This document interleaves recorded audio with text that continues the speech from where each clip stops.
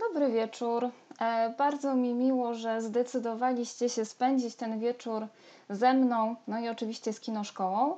E, ja się nazywam Justyna Budzik i bardzo dziękuję Kinoszkole też za zaproszenie do poprowadzenia tej transmisji, tego spotkania, które jest bardzo, bardzo wakacyjne, ponieważ wchodzi w skład e, cyklu filmowe podróże. E, będę wdzięczna za jakiś sygnał w komentarzach, czy mnie dobrze słychać, czy dobrze widać. Ja te komentarze też będę cały czas czytać podczas tej transmisji. E, jeśli się pojawią pytania, to postaram się odpowiedzieć, a będą też momenty, że to ja będę zadawała pytania Wam. I mam nadzieję, że też tutaj nawiążecie ze mną jakiś, e, jakiś kontakt. Zatytułowałam to spotkanie tak troszkę przewrotnie, czyli czy z każdego okna w Paryżu widać wieżę Eiffla, e, ponieważ e, to jest trochę też taki stereotyp, że w wielu filmach, zwłaszcza w pewnym typie gatunkowym, a mianowicie na przykład w komediach romantycznych, rzeczywiście jest tak, że jeśli akcja tego filmu dzieje się w Paryżu, to gdzie nie spojrzą bohaterowie przez okno albo w jakiejś perspektywie ulicy, to rzeczywiście ta żelazna konstrukcja wieży Eiffla jest widoczna. E, trochę tak jak na moim zdjęciu, gdzie ją się starałam jednak nieco ukryć. Rzeczywiście to tak jest, że wieża Eiffla, czyli ukończona z okazji e, wystawy światowej w 1889 roku, no właśnie konstrukcja żelazna, stała się jednym z czterech najbardziej rozpoznawalnych znaków Paryża. Jakie są trzy pozostałe, to za chwilę też jeszcze o tym opowiem. A na razie ja mam pierwsze pytanie do Was. Czy ewentualnie mm, jesteście w stanie wskazać, czy przywołać z pamięci, no właśnie, jakieś filmy, które lubicie albo które znacie, e, których akcja faktycznie dzieje się w Paryżu? Więc jeśli jest jakieś dzieło filmowe, jakaś filmowa historia, którą kojarzycie z tym miastem, zwanym też miastem świateł albo miastem miłości, to poproszę o wpisanie tytułu w komentarz i postaram się też odnieść, czy ja te filmy znam. To nie jest tak, że ja znam wszystkie filmy, e, których akcja się dzieje w Paryżu, ale trochę ich znam i znam też trochę miejsc z filmami związanych. E, tak się składa, że miałam przyjemność faktycznie pracować w Paryżu przez rok. E, I pierwszy prezent, który sobie tam zrobiłam w dzień przyjazdu, kiedy już przyjechałam do pracy, wcześniej jeździłam tylko turystycznie, to taki przewodnik Paryż. E, Paryż i kino. I słuchajcie, to jest wspaniała książka, ponieważ jest w niej 101 miejsc, 101 punktów na mapie Paryża w różnych dzielnicach, e, w których właśnie kręcono bardzo różnorodne filmy. E, ja tutaj widzę już tytuły, które się pojawiają. No oczywiście Amelia, oczywiście. O północy w Paryżu, J'aime Paris, ktoś pisze pięknie, ja też zgadzam się z tym. E, Moulin Rouge oczywiście też. No i też sporo, sporo klasyki filmowej. Podejrzewam, że to, co teraz widzicie na ekranach e, i ten fragment pewnego bardzo znanego filmu, chyba najsłynniejszego melodramatu wszechczasów, też jest Wam znany. E, więc też poproszę ewentualnie o odpowiedź, cóż to za film tutaj mm, możecie oglądać. Rzeczywiście przede wszystkim Paryż kojarzony jest z filmowym miastem miłości. E, natomiast to nie jest tak, że tylko i wyłącznie filmy o miłości tutaj się rozgrywają i powiem szczerze, że te trzy filmy, o których ja dzisiaj opowiem, no trudno by je było nazwać filmami o miłości. E, mamy już pierwszą osobę, która e, prawidłowo zgadła, co to za film. Oczywiście Casablanca. Natomiast dla kinomanów to nie jest tajemnica. Dla... Ja też dzisiaj będę trochę takiej kuchni filmowej odsłaniać. No akurat ekipa filmowa z Humphreyem Bogartem i Ingrid Bergman no nie przyjechali do Paryża nakręcić tej sceny.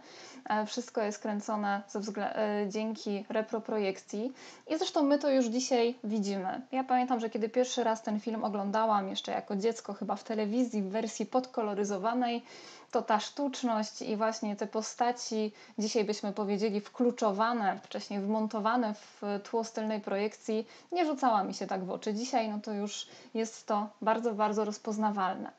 E, tak więc faktycznie miłość, czyli w kinie klasycznym taki gatunek jak melodramat, w kinie e, trochę nowszym komedia romantyczna, no to temat na historię w Paryżu, jak najbardziej. E, to, czym my się dzisiaj zajmiemy, to będzie trochę taka turystyka filmowa, czyli e, tak zwany set jetting. To jest typ turystyki, którą ja bardzo lubię, mm, bardzo lubię uprawiać. I oczywiście, i to też e, mam nadzieję mm, udowodnię Wam, opowiadając o plenerach do trzech filmów Romana Polańskiego, to jest też turystyka, która wiąże się z frustracją bardzo często. No bo mm, lubimy myśleć sobie, planując podróże, że zrobimy zdjęcia, które będą wyglądały dokładnie tak jak te ujęcia z filmów. Czyli tutaj widzimy parę, która na tarasie Trocadero tańczy e, i oczywiście z widokiem na wieżę Eiffla, no bo na cóż by innego. I my sobie wyobrażamy, że my też sobie zrobimy takie zdjęcie, staniemy w takiej pozie. Tutaj akurat film 10 lat późniejszy od Casablanki, melodramat z 52 roku. No i okazuje się, że to tak się nie da. Jedna sprawa to jest technologia, że nawet najbardziej zaawansowane nasze aparaty w telefonach komórkowych no niekoniecznie spełniają standardy profesjonalnego sprzętu filmowego i takiej, a nie innej ogniskowej. No a drugi powód, trochę bardziej prozaiczny i powód, o którym czasami nie chcemy wiedzieć, to to, że oczywiście e, kino nas oszukuje. Dokładnie filmowcy nas oszukują, zwodzą nas jak tylko się da i robią wszystko, żebyśmy uwierzyli, uwierzyli, że ten tutaj w tym wypadku Paryż filmowy to on wygląda tak samo w rzeczywistości jak na ekranie. No to oczywiście nie do końca tak jest, więc kilka takich swoich odkryć e, też tutaj Wam przekażę. Zaraz zostawimy wieżę Eiffla, już ona wróci na, na koniec tego spotkania. E, niemniej jeszcze tylko dwa słowa o tym, że jest to też miejsce Paryża, które od początku też interesowało filmowców, bo to właśnie mm, windą na wieżę Eiffla wjeżdżali operatorzy braci Lumière i wykonali wtedy pierwszą E, pierwszy obrót kamery wokół własnej osi, rejestrując ten wjazd windą na szczyt wieży. E, a Thomas Edison też tutaj eksperymentował z różnymi typami ruchów kamery i zjazdami, no bo jak pamiętacie, te pierwsze projektory i kamery w jednym do rejestrowania filmów to był ciężki sprzęt. O, Ewelina sobie przypomniała, że jeszcze Ratatuj się dzieje w Paryżu, ależ oczywiście, że tak. E, ale wymieniliście przede wszystkim też takie tytuły, które się wiążą z historiami albo przygotowymi, albo miłosnymi. Tak jak zapowiedziałam, my dzisiaj porozmawiamy o trochę innym typie e, kina. Hmm? E, tak jak powiedziałam, zostawimy wieżę Eiffla na moment, ale są takie cztery według rankingów najpopularniejsze miejsca turystyczne i zarazem krajobrazowe w Paryżu. Trzy z nich teraz Wam, wam się przewijają e, na ekranie, czyli wieża Eiffla, e, katedra Notre Dame, tutaj na zdjęciu w wersji jeszcze pełnej, czyli w wersji z iglicą przed pożarem e, i do tego jeszcze łuk triumfalny na Placu Gwiazdy. Brakuje tutaj czwartego miejsca, które przoduje w rankingach. E, no i jestem ciekawa, czy ktoś z Was ma pomysł na to, jakie jest to czwarte miejsce z czołówki atrakcji turystycznych Paryża, które pojawia się w folderach turystycznych, na zdjęciach instagramowych e, czy na naszych wspomnieniach z podróży. E, I to miejsce też się oczywiście później w tej mojej prezentacji pojawi, ale troszkę później, więc teraz też jeszcze macie czas, żeby to wytypować, a ja będę sprawdzać i komentować, czy trafiliście dobrze. Będzie nam potrzebne, raczej mnie będzie potrzebne, żeby troszeczkę lepiej Was wprowadzić w specyfikę tych miejsc, które wybrał Roman Polański na miejsce akcji swoich filmów. Będzie nam potrzebna mapka, ale taka szczególna, czyli mapa, e, w której oznaczony jest podział na dzielnice w Paryżu, ponieważ podział na dzielnice w Paryżu to jest bardzo ważna sprawa e, i w zasadzie adres bardzo często definiuje od razu osobę, która pod tym adresem mieszka. I Paryżanie świetnie wiedzą, która dzielnica czym się charakteryzuje. Wystarczy podać jej numer, e, żebyśmy mieli pojęcie, gdzie, w jakich warunkach, w jakiej przestrzeni, okolicy nasz rozmówca mieszka. E, tych dzielnic w Paryżu jest 20, niektórzy mówią 21. Taka dzielnica biurowa La Défense jest uznawana czasami za tą 21, ale historycznie tych dzielnic jest 20 i one są, one się bardzo różnią od siebie, to jest oczywiście uwarunkowane historycznie i nie zdziwi Was na pewno, że jedynka to jest ta najstarsza w samym środku Paryża i jeśli sobie wyobrazicie mm, któryś z tych najważniejszych zabytków, no to jedynka to będzie katedra Notre Dame. E, I na tej mapie, uwaga, jest też wskazówka, które to jest to czwarte miejsce, e, które to jest to czwarte miejsce mm, jako jedno z najbardziej popularnych. No i zobaczycie teraz, że ten układ dzielnic idzie sobie jak taki ślimak, tak to jest nazywane, jako spirala albo ślimak, od jedynki taką spiralą aż do dwudziestki. E, I nam dzisiaj e, będziemy się poruszać przede wszystkim po czterech z tych, dziel z tych dzielnic. E, zaczniemy w dzielnicy 17. Mm, to jest dzielnica artystów, pisarzy, przynajmniej taka była przez długi czas. Tam się koncentrowało też życie artystyczne. Potem przejdziemy do dzielnicy 18, która jak już tutaj widzicie na tej mapce, jest kojarzona bardzo często przede wszystkim z bazyliką Sacré-Cœur i to jest jeden z tych też najważniejszych zabytków. Biała, kamienna bazylika, taka neogotycka, bardzo fantazyjna. Ale nic z tych rzeczy, jeśli myślicie, że zobaczycie taki widok u Polańskiego, nie, właśnie nie, on sobie troszeczkę z nami pogrywa. Potem przeniesiemy się do dzielnicy numer 9. To jest jedna z takich bardziej eleganckich dzielnic, w której jest przede wszystkim opera, ale też wiele innych teatrów, scen i też sporo obecnie eleganckich butików i hoteli. Skończymy taki bardziej szczegółowy spacer w dzielnicy 10, e, która jest dzielnicą pasaży tak zwanych. Pasaży, czyli e, zadaszonych przestrzeni w których są butiki, kafejki, miejsca, mm, gdzie można spędzać czas i to jeszcze XIX-wieczne zabytki architektury, no właśnie takie centra handlowe, ale XIX-wieczne w fantastycznym często stylu zbudowane. Więc tutaj będziemy się poruszać bardziej szczegółowo. Widzicie, że to są wszystko dzielnice sąsiadujące ze sobą i oczywiście ma to też swoje e, uzasadnienie. Chwilkę później przeniesiemy się szybciutko między pierwszą a piętnastą dzielnicą, e, ale dlaczego zdecydowałam się skupić na tych czterech? No też dlatego, że jeśli ktoś z Was w wakacyjną porą zdecyduje się wyjechać do Paryża, to będzie miał możliwość w dwie godziny albo w półtorej, jeśli się pospieszy, akurat te miejsca, o których opowiem, odwiedzić, sfotografować, no i też porównać ewentualnie z filmami, jeśli zdecydujecie się e, sobie te trzy filmy Polańskiego przypomnieć. Więc to jest nasz plan. Zaczniemy tutaj, gdzie jest ta, ta, ta zielona pineska.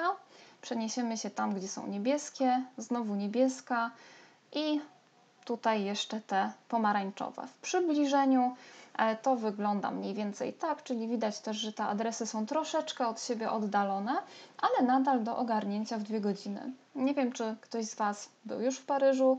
Jeśli tak, to też możecie się proszę podzielić w komentarzach, jakie są te Wasze ulubione miejsca, jakie są miejsca, które odwiedziliście, no bo właśnie przeczytaliście o nich.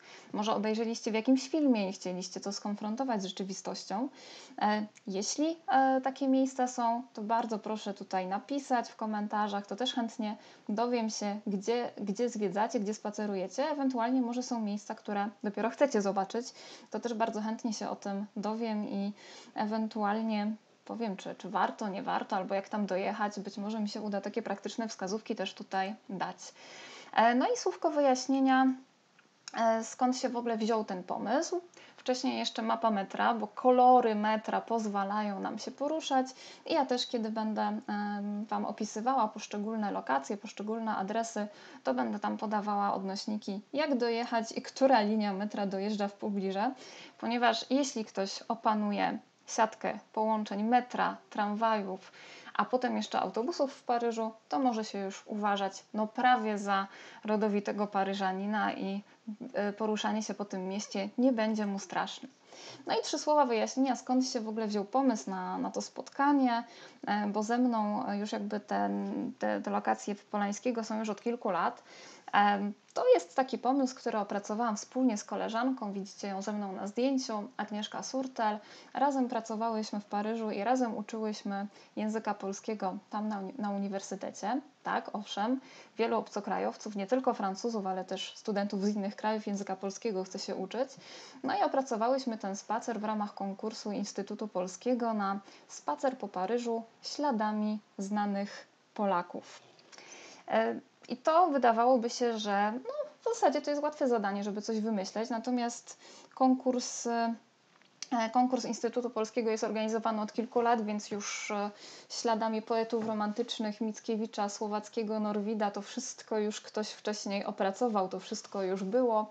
Śladami malarzy oczywiście, bo też i na Montmartre e, i na Montparnasse paryskim przecież nasi malarze i malarki tworzyli, to też już było, no to uznałyśmy dobrze, no to może śladami Polańskiego w takim razie, bo przecież w Paryżu kręcił część filmów i w ogóle też słówko wyjaśnienia.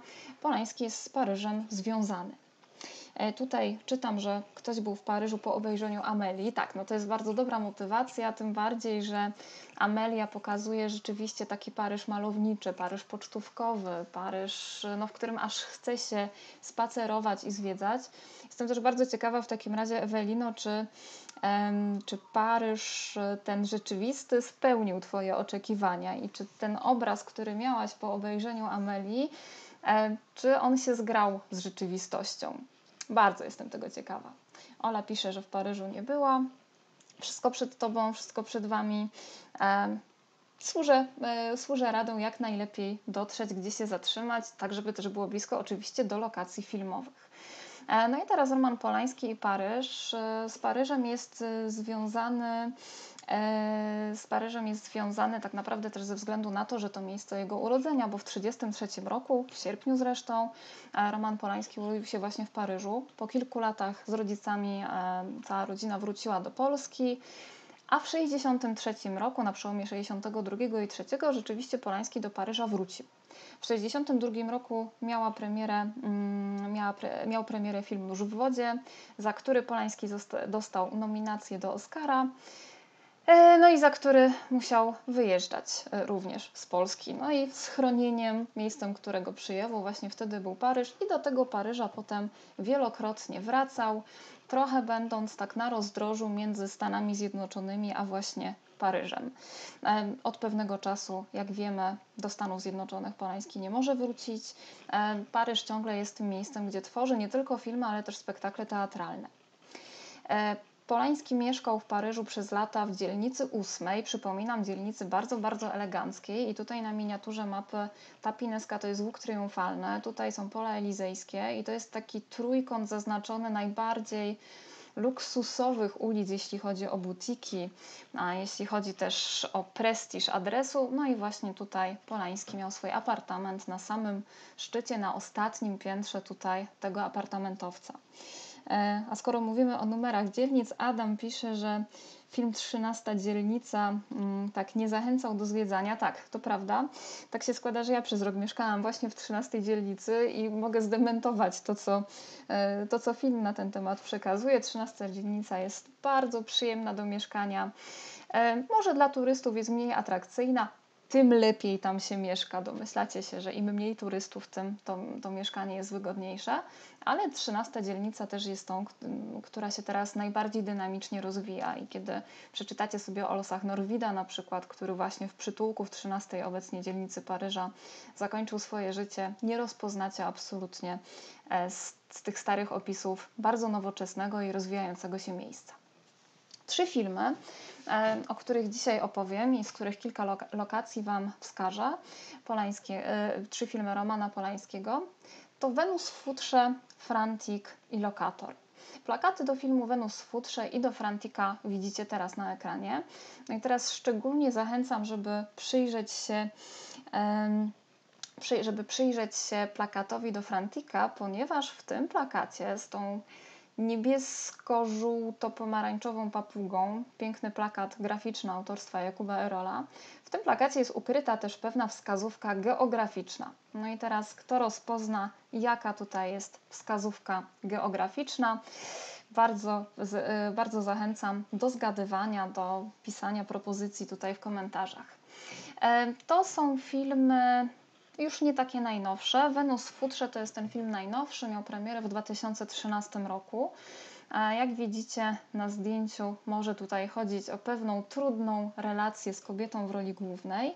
Frantik to film trochę starszy, z 1988 roku i też film z, największy, z największym rozmachem z tych trzech, bo też i z udziałem amerykańskich aktorów, między innymi z udziałem Harrisona Forda także z kilkoma innymi gwiazdami, ale to już o tym opowiem za chwilę. A trzeci film, na którym chyba skupię się najbardziej, bo te lokacje związane właśnie z lokatorem są najciekawsze, to lokator i film środkowy, jeśli chodzi o chronologię, premiera w roku 76. Mm, tutaj też widzicie plakat artystyczny autorstwa Romualda Sochy. E, to oko niepokojąco wpatrujące się w nas z muru, z cegieł, no, może budzić właśnie niepokój, może budzić lęk, strach i to są jak najbardziej uzasadnione uczucia, jeśli chodzi o ten film. Ale spotykamy się już w miarę późnym wieczorem, więc też e, mogę mówić o filmach, które niekoniecznie są cukierkowe czy bardzo, bardzo optymistyczne. Tak jak zresztą powiedziałam, Polański w Paryżu umie umieszcza akcje filmów, których zdecydowanie nie nazywamy, e, nie, nie, nie nazwiemy melodramatami czy komediami romantycznymi. Zacznę od pierwszego punktu na naszej mapie. W, między, w międzyczasie Ewelina pisze, że poza Montmartrem Paryż aż tak nie oczarował. E, to jest opinia, którą bardzo często słyszę, no ale ja też nie jestem obiektywna. Ja Paryż uwielbiam, ale prawdą, prawdą jest to, że trzeba właśnie też odkryć takie miejsca mniej turystyczne. No i Ewelina, masz nagrodę. Faktycznie to, co jest na plakacie z Frantika, to jest, to się kojarzy i powinno się kojarzyć ze statuą wolności. No to teraz kolejne pytanie do tych, co widzieli Frantika i być może go pamiętają w ilu wersjach Statua Wolności się w tym filmie pojawia. A spacer po Paryżu śladami lokacji filmów Polańskiego polecam rozpocząć na stacji metra linii 2 na stacji Rzym, czyli zaczynamy w Rzymie, mimo że jesteśmy w Paryżu. To jest stacja, którą na tej małej mapce widzicie tutaj. Nasz punkt docelowy to zielona pineska w tym miejscu, czyli już z samej mapy możemy wywnioskować, że przejdziemy się szerokim bulwarem, a przecież Paryż też nam się często kojarzy właśnie z bulwarami, z tymi szerokimi arteriami, e, wokół których wybudowano dość jednorodne stylistycznie kamienice. I już nawet na zdjęciu strzałka wskazuje dokąd idziemy. Idziemy do teatru o nazwie, e, o nazwie Eberto. I zdjęcia, które tutaj widzicie, które są podpisane nazwiskiem Bartłomiej Pająk, czyli nazwiskiem mojego prywatnego, osobistego męża, to są zdjęcia, które dokumentują, no właśnie, spacer po Paryżu, jaki z Agnieszką poprowadziłam, żeby zainteresowanym opowiedzieć o tym, gdzie Polański kręcił. No i właśnie takim bulwarem, przy platanach, e, idziemy kilka minut i wtedy stajemy przed fasadą teatru neoklasycystyczną, taką bardzo elegancką fasadą teatru Eberto. E, otwarty w połowie XIX wieku, w pierwszej jego połowie. E, I to jest e, właśnie te, to, co jest na zewnątrz, to, co widzimy stojąc przed teatrem, to jest też obraz, który pojawia się na samym początku filmu Wenus w futrze. To jest dość szczególny film, ponieważ oprócz początku, czyli oprócz takiej długiej jazdy kamery wzdłuż tego bulwaru pomiędzy platanami. E, cała akcja filmu, poza tą początkową jazdą, dzieje się już we wnętrzu teatru. No i jak się domyślacie, mówiłam, filmowcy uwielbiają wprowadzać nas, nas w błąd. E, wszystko, e, co dzieje się za zamkniętymi drzwiami, to już jest zupełnie inne wnętrze, inny teatr, nie ten ale właśnie ze wnętrza użyczył Polańskiemu Teatr Eberto. Jak widzieliście ze zdjęć, nasz spacer odbywał się w nieco lepszych, przyjemniejszych warunkach atmosferycznych. E, no niemniej polecam sobie przypomnieć właśnie, jak się film Wenus w futrze rozpoczyna, kiedy ta kamera jedzie w burzy, przy błyskawicach, e, przy dźwięku piorunów, no ponieważ to, co się potem dzieje za zamkniętymi drzwiami teatru, to jest właśnie taka burza. E, więcej szczegółów nie zdradzę, ponieważ, no cóż, jesteśmy jeszcze przed 22, a ten film zdecydowanie powinien być pokazywany nieco później. E, I mamy już też odpowiedź, mam też odpowiedź i to bardzo wyczerpującą, dzięki Aniu, e, na pytanie o statuę wolności. Oczywiście pojawia się dwukrotnie we Frantiku, czyli jako miniatura tej amerykańskiej statuły. E, w Paryżu ta miniatura ciągle jest, chociaż już w innym miejscu niż na filmie Polańskiego. No i też pojawia się jako figurka. Figurka, która jest tak zwanym McGuffinem i napędza całą akcję. E, tak jak mówiłam, oprócz e, fasady teatru Eberto, cała reszta mm, Wenus Futrze już się odbywa we wnętrzu innego teatru, do którego nie można wchodzić, więc tyle, jeśli chodzi o miejsca Wenus futrze. Wracamy do stacji metra e, i z przesiadką udajemy się do 18 dzielnicy, a linią numer 13. 18 dzielnica to jest jedna z tych trzech, które są najbardziej odradzane. Jak sobie otworzycie jakiś przewodnik po Paryżu inny niż po filmowych lokacjach, e, no to przeczytacie często, że 18, 19 i 20 dzielnica to są te, w których nie należy na przykład bukować hotelu. E, to rzeczywiście jest to dzielnica bardzo Kiedyś dzielnica robotnicza, dzisiaj bardzo różnorodna, ale też to wszystko się zmienia i o ile kiedy rozgrywa się akcja lokatora, czyli w połowie lat 70., rzeczywiście mogło być tam nieciekawie, o, ile, o tyle teraz 18 dzielnica to jest dzielnica loftów, rękodzieła, no właśnie różnych miejsc artystycznych, takich alternatywnych, więc mimo wszystko polecam. Jeśli pojedziecie zobaczyć miejsca związane z lokatorem, e, to też warto odwiedzić wszystko, co jest e, też naokoło.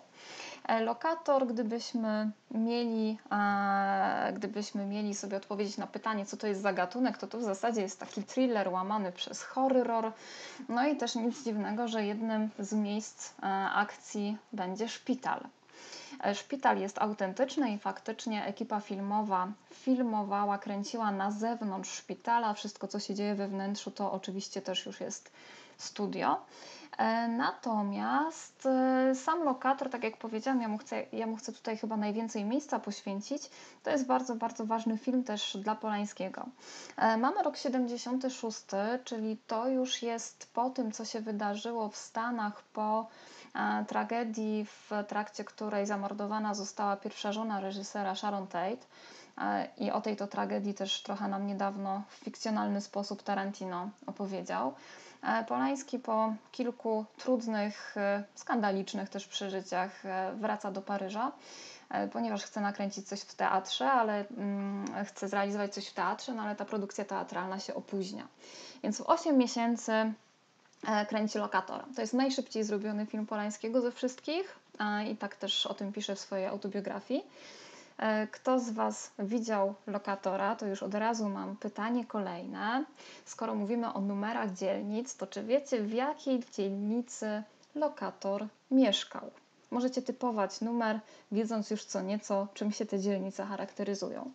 Dlaczego lokator? No bo właśnie głównym bohaterem tego filmu jest y, z polskiego pochodzenia urzędnik, i tutaj się nie zdziwicie, że tego urzędnika polskiego pochodzenia gra sam Roman Polański. E, I ten urzędnik chce wynająć mieszkanie. Ach, temat rzeka. Jeśli ktokolwiek z Was w Paryżu próbował już wynająć mieszkanie, to wiecie o czym mówię. Jeśli nie próbował, to jest to temat na kolejne godzinne spotkanie. Natomiast e, uwierzcie mi, wynajęcie mieszkania w Paryżu na takim normalnym, wolnym rynku to jest bardzo trudne zadanie. I tak też było wcześniej. Tym bardziej, że właśnie te adresy, poszczególne dzielnice, one są związane z prestiżem i lokatorzy poszczególnych kamienic e, no, mają duże wymagania co do swoich sąsiadów i takie same wymagania mają właściciele czy zarządcy tych miejsc. E, powiedziałam, że jest to film w, pewnym, e, w pewnej mierze autobiograficzny, bo faktycznie był to też czas, kiedy Polański starał się o francuskie obywatelstwo.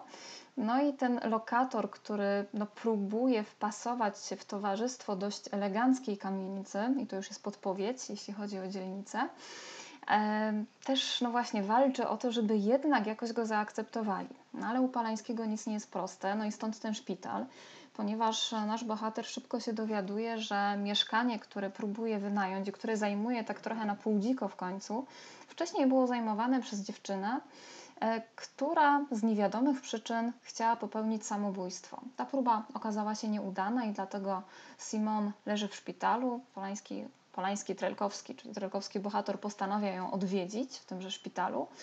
E, no i to nie jest chyba najlepszy pomysł, ponieważ jak się okazuje, też to spotkanie z osobą po wypadku e, jest, jest trudne. No i też od tej wizyty w szpitalu, który widzieliście na poprzednim slajdzie, ogromny szpital, chociaż wtopiony w dzielnicę, rozpoczyna się szereg dziwnych wydarzeń. E, no i skoro mówimy o dziwnym domu, o poszukiwaniu swojego miejsca, to od razu myślimy o horrorach, więc od razu też możecie sobie przypomnieć, jakie znacie filmy grozy, jakie znacie takie horrory, thrillery, w których nawiedzone domy odgrywają istotną rolę. Więc to jest moje kolejne pytanie do Was. Mianowicie ta kamienica, w której e, lokator, bohater próbuje wynająć mieszkanie, mieści się właśnie pod adresem, który e, zapisałam na slajdzie, pod adresem, do którego można dojechać 12 e, linią metra, linią zieloną. No i Ola tutaj zgaduje, że być może jest to 13 dzielnica, a nie. Nasz bohater mierzy nieco wyżej. To jest dzielnica, mm, to jest dzielnica dziewiąta, jedna z takich właśnie bardziej eleganckich. E, I tutaj widzicie wejście do kamienicy, która posłużyła ekipie filmowej jako miejsce mm, do kręcenia ujęć na zewnątrz.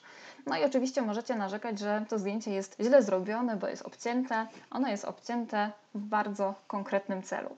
E, ponieważ widzicie na tym zdjęciu tylko dwa piętra. To jest bardzo ważne. Kamienica w rzeczywistości ma piętra cztery. A dlaczego to jest takie ważne, to o tym też za chwilę. E, tak wyglądają te wyższe piętra, dość podobne do siebie i ta kamienica, ona może nie wygląda na aż tak elegancką, ale kiedy wejdzie się w podwórze, bo to jest oczywiście kamienica z podwórzem i ze studnią, no to wtedy E, oczywiście okazuje się, że jednak te mieszkania to są dość wystawne. Taka sama jest tutaj klatka schodowa, taka trochę labiryntowa. No i też moje kolejne pytanie do Was: jakie filmy grozy przypomina Wam ujęcie z prawej strony? Czyli to ujęcie, gdzie lokator, bohater grany przez Polańskiego, stoi na schodach tych spiralnych i za każdym razem coraz ciężej mu się wchodzi na górę. Bardzo, bardzo Wam polecam, żebyście już nawet od razu po zakończeniu naszego spotkania odtworzyli sobie nawet na YouTubie e, scenę otwierającą e, lokatora, bo to jest kolejna fantastyczna jazda kamery. W tym filmie operatorem był Sven Nyquist, operator szwedzkiego pochodzenia, który z Bergmanem między innymi współpracował. No i nakręcił fantastyczne otwarcie, kiedy najpierw kamera właśnie stoi na zewnątrz, panoramuje cały, cały ten budynek, pokazuje e, różnych lokatorów i mieszkańców ukrywających się trochę e, za firankami w oknach, potem objeżdża nam to podwórko, aż w końcu znajdujemy się w dyżurce tak zwanej konsjerżki, czyli dozorczyni budynku. No i razem z bohaterem próbujemy jakoś wniknąć do tego miejsca. No i już sam początek nam tą całą grozę przekazuje. A przy okazji widzicie tutaj na tych screenach, na tych rzutach z ekranu, że obsada w tym filmie no też rewelacyjna. Izabela Gianni, Melvin Douglas i jeszcze kilka znanych nazwisk. To właśnie dzięki amerykańskim sukcesom i wcześniejszym doświadczeniom Polańskiego udało się też tych gości zagranicznych do filmu e, zatrudnić. No i teraz e, mówiłam, że to bardzo ważne, że, znaczy, że, że celowo obcięłam Wam e, to zdjęcie, że widać było tylko dwa piętra, e, ponieważ tutaj już filmowcy w filmie Lokator musieli nas troszeczkę oszukać. Mianowicie nie było możliwe kręcenie bardzo wyrafinowanych scen i scen kaskaderskich, bo tam co chwila któryś bohater skacze z okna albo wypada z balkonu, albo właśnie różne dziwne rzeczy się w tym filmie dzieją. E, nie dało się tego sfilmować na tak zwanej lokacji, tak mówią filmowcy, że filmują na lokacji, filmowali w studio. Studio, które do dzisiaj oczywiście pracuje, jest swoją drogą jednym z ważniejszych studiów e, filmowych pod Paryżem w Epinay-sur-Seine. Studio o nazwie Eclair. I teraz moje pytanie do kinomanów, ponieważ to studio, dokładnie ten budynek, pojawił się niedawno, bo na początku tego roku w pewnym filmie, który miał już w Polsce premierę, miał premierę przed lockdownem, przed zamknięciem kin, a po zamknięciu kin znowu przez pewien czas był na ekranach. Więc kto, y, kto ogląda wiele nowości, kto interesuje się kinem, zwłaszcza tym francuskojęzycznym, to być może ten film zobaczył. Kto pamięta albo kto widział, gdzie studiowe Epinay-sur-Seine pojawiło się ostatnio w kinie. Y, I to też świadczy o prestiżu tego studia. Czekam na odpowiedzi i przechodzę do ujęcia bardzo, bardzo mm, istotnego tutaj, ponieważ to jest jedno z niewielu dostępnych szeroko ujęć z planu zdjęciowego.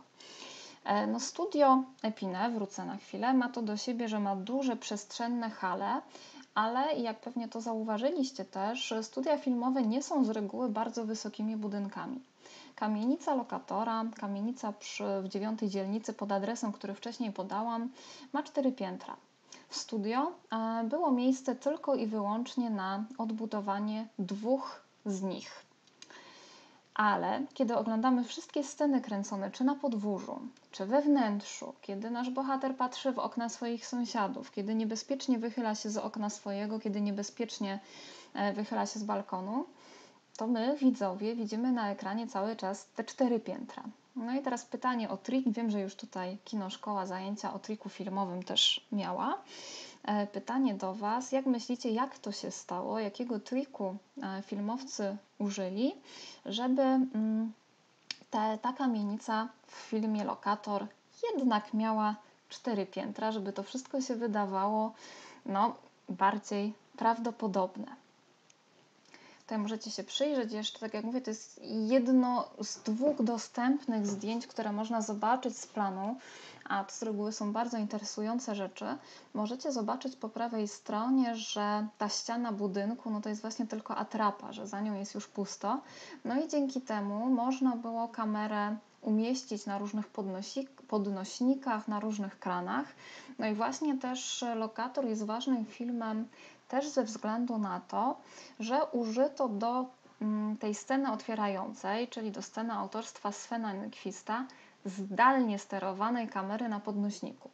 Nas to dzisiaj jakoś specjalnie nie dziwi, tak? ale przypominam, lokator to jest rok 76, e, więc e, takich trików i efektów specjalnych, z jakimi my dzisiaj jesteśmy zaznajomieni, jeszcze wtedy nie było. E, więc nakręcenie takiej płynnej sceny, gdzie by była i jazda, czyli gdyby, gdzie byłby najazd, gdzie by była panorama, gdzie byłby obrót, no to było bardzo ryzykowne przedsięwzięcie. Polański się na to zdecydował, Nykwist też podjął wyzwanie. Efekt jest absolutnie obezwładniający. A skoro jeszcze mówimy o praktycznych tipach i wskazówkach, mm, Większość kamienic mieszkalnych w Paryżu, a ta z filmu Lokator jest wciąż zamieszkana, to są kamienice oczywiście zamykane na automatyczne zamki z kodem. Niemniej, no właśnie, takie lepsze adresy, a przypominam, dziewiąta dzielnica jest zdecydowanie jednym z lepszych adresów, mają zawsze swoje dyżurki, zarządców, I my tutaj w trakcie spaceru po Paryżu mm, skorzystaliśmy właśnie z uprzejmości administracji budynku, e, którzy byli tak zadowoleni, że dowiedzieli się, że Polański kręcił lokatora właśnie w ich kamienicy, że od razu udostępnili nam kod wejścia do drzwi. Niestety ja już go nie pamiętam, ale grupę tych dwudziestu paru osób w sobotę mogliśmy na podwórze wprowadzić. No niestety obiecałam, że nie będę robić zdjęć, żeby potem ktoś z lokatorów nie miał pretensji, że jego okna, bo jednak przy tych wewnętrznych podwórzach to wszystko jest trochę takie bardziej intymne i bardziej otwarte, więc no tutaj trzeba się było do tego dostosować. E, Ola sugeruje, że makietę mamy tutaj. No w pewnym sensie tak, ale to jeszcze nie do końca to, bo makieta właśnie, mm, znaczy inaczej, makieta to jest pomniejszenie, mm, więc nie do końca, ponieważ tutaj mamy zbudowane dwa piętra kamienicy w skali 1:1, tak jak było w rzeczywistości, więc nie makieta, chociaż rzeczywiście makiety są bardzo często stosowane. Zanim Wam powiem, co to było naprawdę, to jeszcze poczekam ewentualnie na jakiś typ. No i jak na razie też nikt nie zgadł albo nikt nie wskazał filmu, mm, w którym pojawiło się studio Eclair, to ja może Wam podpowiem, że ten film, w którym studio to zagrało i w którym je widać, w którym dzieje się część akcji, wprawdzie jest francuskojęzyczny, ale firmuje go reżyser, który jest Japończykiem. Więc dwa, e, dwie zagadki. Ja będę o nich oczywiście pamiętać, nawet sobie zapiszę, żeby jeszcze Wam o tym koniecznie opowiedzieć i odpowiedzieć, jeśli te prawidłowe odpowiedzi się nie pojawią. No i faktycznie, jak na tamte czasy, warunki, warunki świetne. Zresztą wtedy w studio Eclair z, z Polańskim współpracował jeden z absolutnie najsławniejszych dekoratorów i scenografów e, francuskich filmów. E, niestety to nazwisko mi teraz uleciało z pamięci, ale oczywiście możemy je sprawdzić. Przejdziemy teraz e, kawałeczek dalej geograficznie i przejdziemy też do drugiego filmu, do nieco bardziej eleganckiej dzielnicy i znowu 12 linią metra możemy podjechać na stację Madeleine i wtedy już jesteśmy w dzielnicy numer 9 mm, dalej, ale w tej jej najbardziej eleganckiej części, bo to są miejsca, które zagrały w filmie Frantic. Frantic ten tytuł też się przyjął po polsku, co ciekawe, nawet się przyjął po francusku, a to jest e, słowo po angielsku i to jest rzeczywiście wręcz niespotykane. Być może to wiecie, Francuzi nie przepadają za anglicyzmami w swoim języku, no ale tutaj udało się ten tytuł zachować. Frantic, czyli coś szalonego, szaleńczego. No i taki właśnie też jest ten film. No i już plakat, który widzicie, to jest jeden z takich fanowskich plakatów, e, sugeruje nam, że faktycznie będzie to połączenie Paryża i Ameryki. Ten schemat Amerykanin w Paryżu no jest całkiem znany z, z opowieści filmowych. I po części Frantik się tak rozpoczyna, bo Frantik rozpoczyna się w ten sposób, że taksówką z lotniska do centrum Paryża jedzie amerykański lekarz Richard Walker. E, przypominam, że Walker po angielsku znaczy spacero, mm, spacerowicz, wędrownik i to jest też bardzo znamienne w przypadku tego filmu, bo on, ten bohater cały czas będzie po Paryżu wędrował. E, więc Walker grany przez Harrisona Forda ze swoją żoną. No właśnie, dwoje Amerykanów, małżeństwo dość bogato sytuowane, przyjechali do Paryża na konferencję. No mogłoby nam się wydawać, że będzie to melodramat o parze, która w trakcie wyjazdu służbowego no, przeżywa jakieś romantyczne chwile w Paryżu. To jest Polański, nic z tych rzeczy. 12 e, lat po lokatorze mm, Roman Polański wraca do Paryża. Wcześniej przez te 12, e, przez te 12 lat we Francji nie nakręcił innego filmu. Miał przerwę filmową, robił spektakle w teatrach francuskich. A więc Polański wraca do Paryża i podejmuje trochę podobny gatunek, czyli też dużo thrillera. A w międzyczasie rozwiązała się zagadka, w jakim niedawnym filmie pojawiło się studio Eclair Wepine. E, tak, to był ostatni film Koridy, e, a jego tytuł brzmiał Prawda. Brawo. E, no i to jest ten film, w którym bohaterka grana przez. To jest tak, ten film, w którym bohaterka grana przez Catherine Deneuve, wielka francuska aktorka, no właśnie, udaje się na zdjęcia, więc to rzeczywiście ogromny prestiż. No i skoro dwoje Amerykanów we Frantiku przyjeżdżają do Paryża, powiedziałam, na kongres medyczny, no to możemy przypuszczać, że zatrzymają się w absolutnie najbardziej eleganckim hotelu. I tak się też dzieje. Wtedy Le Grand Hotel, dzisiaj e, ten hotel został przejęty przez którąś ze słynnych sieciówek, ja już do końca nie pamiętam. Mm, nie pamiętam jaką, bo to też się zmienia, ale hotel jest dalej na swoim miejscu i, miejscu i o prestiżu tego hotelu świadczy też fakt, że jest koło opery. I teraz widzicie tutaj pocztówkę taką z lat 20., gdzie świetnie widzimy te dwa adresy, czyli opera pod numerem 8 i hotel, wtedy jeszcze tutaj było mniej budynków, i hotel pod numerem 2. Czyli w zasadzie możemy wywnioskować z tego zdjęcia już dość e, dokładnie, e, dość dokładnie, że mm, są to budynki ustawione do siebie prostopadle. No ale co się dzieje? Znowu trochę o tym, jak filmowcy nas oszukują, kiedy e, Harrison Ford, czyli Richard Walker, wprowadza się ze swoją żoną do pokoju hotelowego, to już coś nas zaczyna tutaj niepokoić albo e, zaczynamy, zaczynamy być podejrzliwi, kiedy patrzymy przez okno.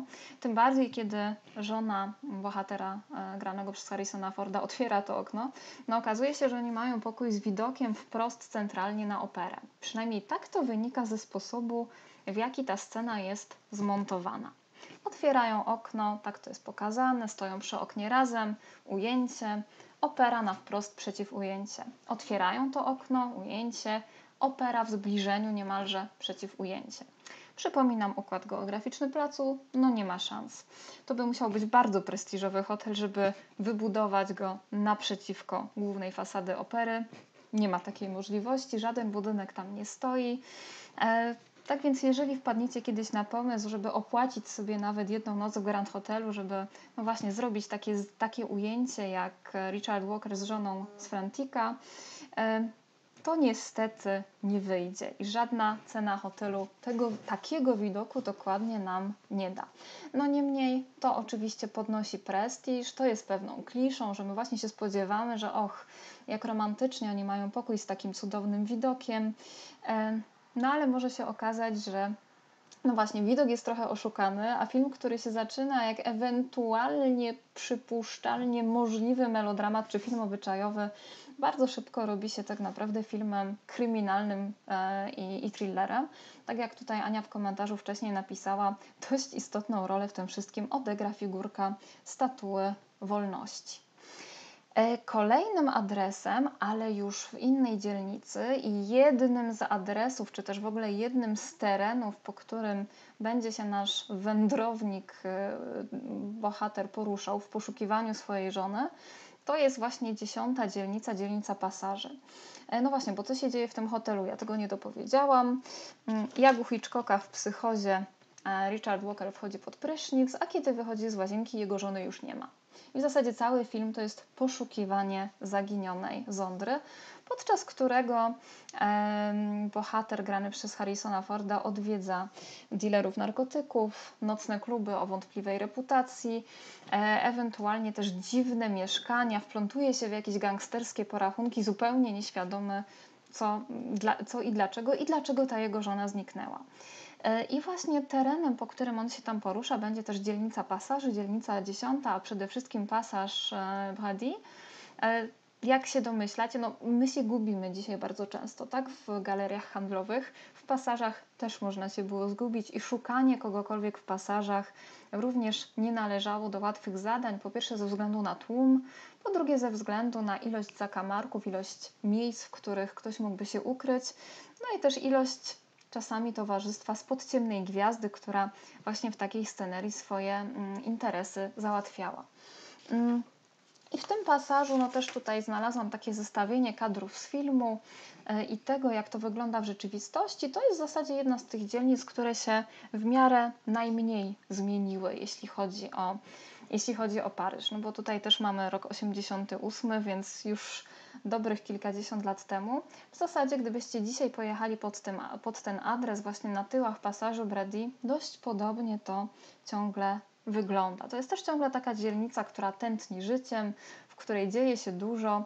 No, na szczęście ludzie nagminnie nie znikają, turyści nie rozpływają się w powietrzu, tak jak to ma miejsce w filmie Frantic, ale jeśli wejdziemy w te pasaże, to możemy tę atmosferę poczuć. No i powiedziałam też, że po 12 latach Polański kręci kolejny film w Paryżu. E, I są miejsca, w których lokator spotyka się z bohaterem Frantika. Oczywiście spotykają się metaforycznie, bo właśnie tuż za rogiem pasażu Bradina, ulicy, e, której nazwę tutaj Wam zapisałam, ulica du Faubourg Saint-Martin, e, lokator, bohater lokatora doznaje wypadku samochodowego. I to jest też dokładnie ta sama ulica, po której w jednym z ujęć Frantika biegnie bohater, rozgląda się i wypytuje przechodniów, czy przypadkiem nie widzieli jego żony. Więc Polański faktycznie też wraca do tych miejsc, które kręcił 12 lat wcześniej. I te adresy, które Wam teraz pokazałam, tych kilka miejsc w trzech dzielnicach, to mm, jakby my w pasażu Brady skończyliśmy spacer, ten, który w Paryżu się odbył i to trwało dwie godziny z przejazdami, z opowiadaniem o tym, więc jeśli będziecie mieli w Paryżu w tej północnej części dwie godziny, to bardzo serdecznie polecam ale można jeszcze też udać się do innych dzielnic. Zanim powiem do jakich, to może jeszcze odtajnie tutaj to, w jaki sposób w lokatorze uzyskano iluzję czteropiętrowej kamienicy w studio. Mm, na ziemi, na, na, tym, na tym poziomie ziemi ustawiono wielkie lustro. I w ten sposób, e, i w ten sposób właśnie udało się uzyskać to wrażenie, że kamienica ma cztery piętra. Zbudowano dwa, a dwa wyższe odbijały się cały czas w lustrze. No i operator kamery tak kręcił, żeby e, przekonać nas, żeby nas oszukać, że to jest ta prawdziwa kamienica. No a to, to wrażenie jest tym bardziej realne, że faktycznie e, możemy ten adres odnaleźć. Tak? Tam jest nie tylko ta kamienica, tam jeszcze była kawiarnia, do której bohater chodził, te wszystkie budynki jesteśmy w stanie nawet dzisiaj rozpoznać.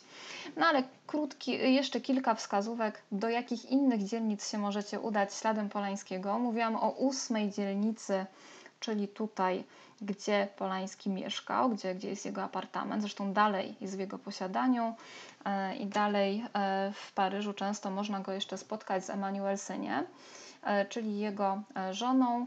Jest, jest, jest tą żoną od roku 89 i to właśnie wspólna praca nad filmem Frantic była początkiem też tego związku życiowego, ale też twórczego, bo Emmanuel Senie gra w wielu filmach Polańskiego, w Wenus w futrze również. Ale możemy się też przenieść właśnie śladem tych filmów do kilku bardziej eleganckich dzielnic, przede wszystkim do jedynki tak zwanej. To jest dzielnica w samym środku, jedynki i dwójki i do tak zwanej piętnastki, czyli i tu wrócimy pod wieżę Efla, dzielnicy naprzeciwko wieży Efla na drugim brzegu Sekwany. Przede wszystkim Paryż elegancki, do którego aspiruje urzędnik, bohater lokatora, czyli ogrody Tuileries, e, ogrody koło Louvru.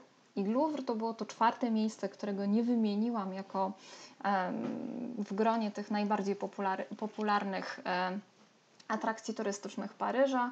No właśnie, obok Louvru są takie miejskie ogrody z, ze słynnymi zielonymi krzesłami, na których mnóstwo filmowych scen już miało miejsce. Tutaj pojawiała się Amelia w Waszych wypowiedziach o północy w Paryżu.